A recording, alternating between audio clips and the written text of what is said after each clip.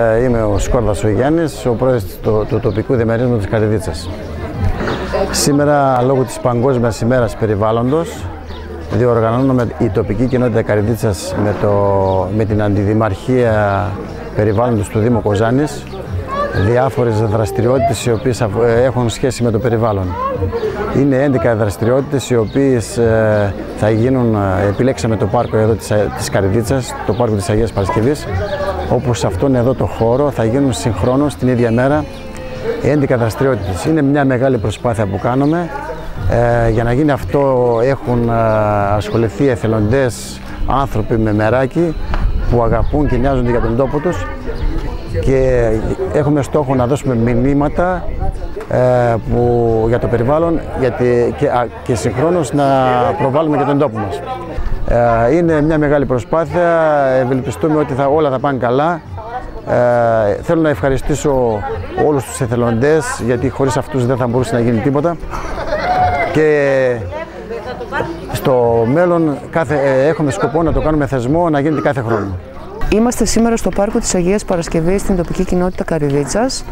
Ε, μόλις ξεκίνησαν οι περιβαλλοντικές εκδηλώσεις. Πριν από λίγο τελειώσαμε την δράση με το σχολείο, ε, στην οποία φυτέψαμε παραδοσιακούς σπόρους από το δίκτυο Πελίτη, ε, με σκοπό από τη μια να ευαισθητοποιήσουμε τα παιδιά ε, στην αγάπη τους για το πράσινο και από την άλλη να τους ε, μεταδώσουμε το μήνυμα της αξίας των ε, παραδοσιακών σπόρων και της διατήρησής τους.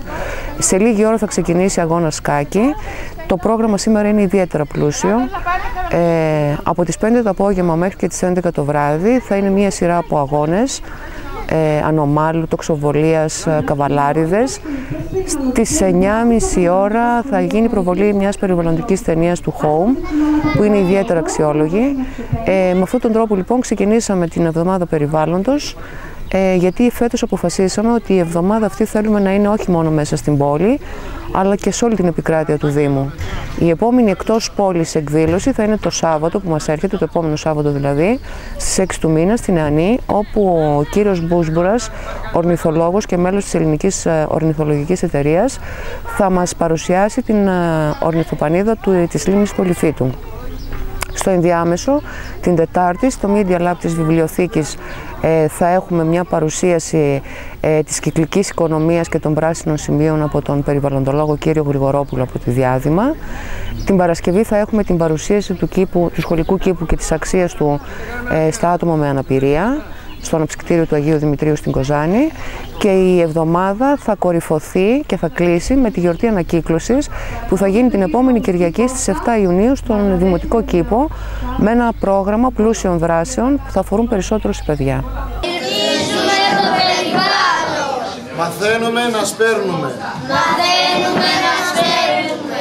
Διατηρούμε τα παραδοσιακά σπόρια. Διατηρούμε τα παραδοσιακά σπόρια. Αναγνωρίζουμε τους σπόρους. Αναγνωρίζουμε τους σπόρους. Αναγνωρίζουμε τα φυτά.